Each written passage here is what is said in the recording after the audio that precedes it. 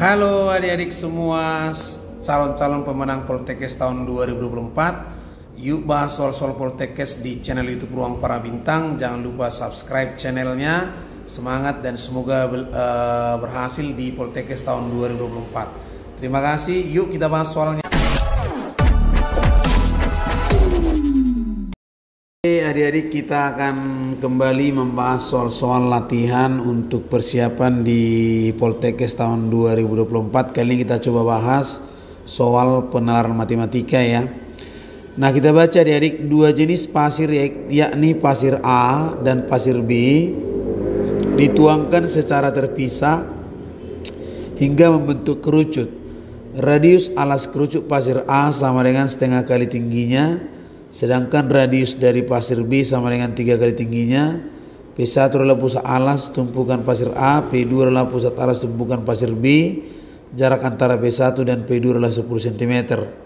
Nah pertanyaannya adalah jika kedua jenis pasir tersebut dituangkan dengan laju volume yang sama maka R1 banding R2. Oke baik ya kita coba jawab ya kan. Nah kita selesaikan dulu untuk soal ini bagaimana caranya ya. Oke. Kita ingat volume daripada limas ya kan volume dari sorry volume kerucut itu adalah sepertiga pi r kuadrat dikali t ya kan itulah volume kerucut. Nah katanya eh, jika laju volume berarti kalau laju volume berarti apa? Eh, volume dari yang pertama ya kan? Berarti maksudnya volume pasir A dibagi dengan waktu. Nah sini waktu ini tinggi ya yang ini tinggi yang ini waktu. Per PB yang ini T. Karena dia waktunya sama kita tinggal coret aja T nya maka yang diperoleh apa? PA pasti sama dengan PB di mana rumusnya ini apa? Sepertiga pi R ya kan? R1 kuadrat kali T1 sepertiga pi R2 kuadrat kali T2 gitu. Nah jadi ini sama sepertiga sepertiga pi. Berarti kita coret aja. Berarti R1 kuadrat dikali T1 R2 kuadrat dikali T2 nah kita perhatikan di sini radius alas kerucut pasir A sama dengan setengah tingginya. Berarti kan gini berarti R1 sama dengan dua kali daripada tingginya. Berarti tingginya misalnya tinggi pertama ya kan? Berarti tinggi pertama sama dengan setengah dari R1 ya. Nah kemudian untuk R2 katanya apa? R2 itu tiga kali dari tingginya. Tiga kali dari tingginya ya kan? Berarti T2 sepertiga R2 maka R1 pangkat 2 kali T1 berarti setengah dari R 1 sama dengan R2 kuadrat. Berarti di sini R2 kuadrat dikali sepertiga R2. Maka ini menjadi setengah dari R1 pangkat 3 sama dengan sepertiga dari R2 kuadrat. Jadi dari sini kita lihat berarti uh, eh, R1 banding R2 pangkat 3 itu sama dengan uh, sepertiga banding seperdua atau kita bilang R1 banding R2 sama dengan 1 per 6 pangkat 3 ya kan? Berarti R1 pang, pangkat 2 adalah akar pangkat 3 dari 1 per 6 gitu. Berarti sama aja ini uh, kalau kita buat berarti uh, eh, 1 per akar pangkat 3 dari 6 jadi jawabannya 1 dibanding dengan akar pangkat 3 dari 6 jadi jawabannya adalah option A itu caranya adik-adik mudah-mudahan bisa dipahami ya. Oke, masih di soal yang sama. Kita lihat uh, konteksnya sama cuma pertanyaannya beda di sini. Jika kedua jenis pasar tersebut dituangkan dengan laju volume yang sama, maka H1 banding H2 sama dengan. Jadi yang ditanya itu perbandingan H1 banding H2. Nah, tadi di soal sebelumnya sudah kita bahas bahwasanya R1 ya kan R1 banding R2 itu apa? 1 per akar pangkat 3 dari 6 nah itu dia. 1 per akar 3 1 per akar 3 dari 6 nah kemudian katanya berarti H1 ya kan H1 nah R1 itu tadi adalah berapa? R1 adalah sama dengan setengah tingginya katanya kan R1 sama dengan setengah, setengah tingginya. Berarti radius dengan setengah dari tinggi ya. Berarti R1 dengan setengah dari tinggi. Atau kita bilang lah H di sini ya berarti H. Berarti kita boleh jadi apa? Setengah H1 per.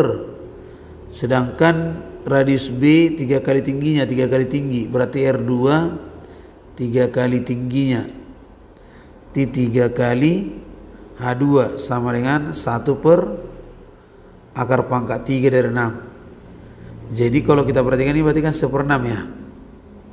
Seperenam H1 per H2 sama dengan 1 per akar pangkat 3 dari 6 berarti dari sini kita bisa dapatkan H1 banding H2 1 per seperenam akar pangkat 3 dari 6 bisa ya Nah, itu itu yang kita peroleh. Baru kita lihat lagi berarti ini jadinya 6 per akar pangkat 3 dari 6. Atau boleh kita buat 6 per 6 pangkat sepertiga. Ini kan 3 per 3, berarti uh, eh, 6 per 3 berarti jadinya 6 pangkat 2 per 3 per 1 ya. Nah, berarti sama dengan eh, 6 pangkat 2 per 3 berarti akar pangkat 3 dari 6 kuadrat ya kan? Per 1 atau akar pangkat 3 dari 36 per 1 maka jawabannya adalah option B ya. Itu dia untuk penyelesaian soal ini mudah-mudahan bisa dipahami. Uh, semangat kita lanjut soal berikutnya Oke, sekarang kita lanjut di soal nomor tiga ya adik-adik ya. Dani merupakan tukang bangunan uh, sedang mendapat pekerjaan untuk membangun sebuah rumah. Tembok rumah tersebut memiliki lebar 2 meter lebih panjang daripada tingginya yang luasnya 48 meter kuadrat. Untuk membangun satu sisi tembok tersebut digunakan batu bata dengan ukuran 20 cm kali 10 cm Berapakah keliling satu sisi tembok tersebut? 14 meter, 16 meter, 28 meter, 32 meter, 36 meter. Nah, jadi kalau kita jawab ini, kita ingat inilah misalnya tembok tersebut, gitu ya. Nah, ini adalah lebarnya sedangkan ini tinggi gitu. Nah, jadi kalau kita buat berarti katanya kan uh, lebarnya itu adalah uh, dua lebihnya dari panjang temboknya. Nah ingat bahwasannya uh, luas itu adalah panjang kali lebar kan? Dalam hal ini berarti panjang kali tinggi lah. Ini 48 berarti di sini uh, eh, 2 plus T dikalikan dengan T gitu. Jadi 48 sama dengan 2T plus T kuadrat. Atau T kuadrat uh, plus 2T dikurang 48 sama dengan 0. Nah kalau kita faktorkan ini berapa kali berapa supaya 48 kan berarti T tambah 8 T kurang 6. Karena selisihnya harus 2 berarti T-nya min 8 dan T-nya 6. Maka yang kita pakai tingginya berarti yang positif. Nah ini tidak mungkin minus.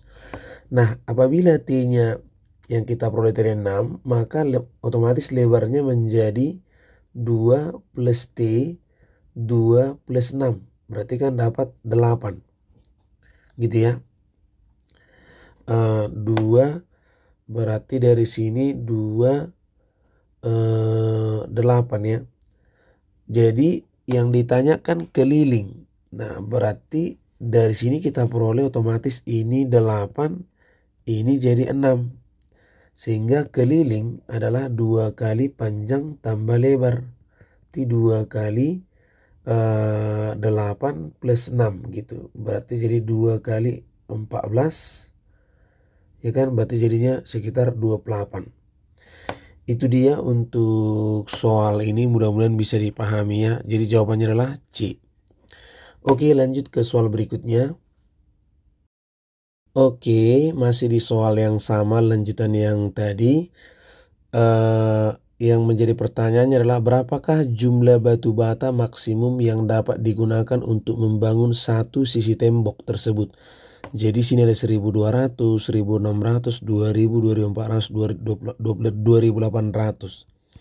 Nah, kita lihat tadi kan uh, di sini uh, katanya batu bata itu yang mau dibuat itu ukurannya 20 kali 10.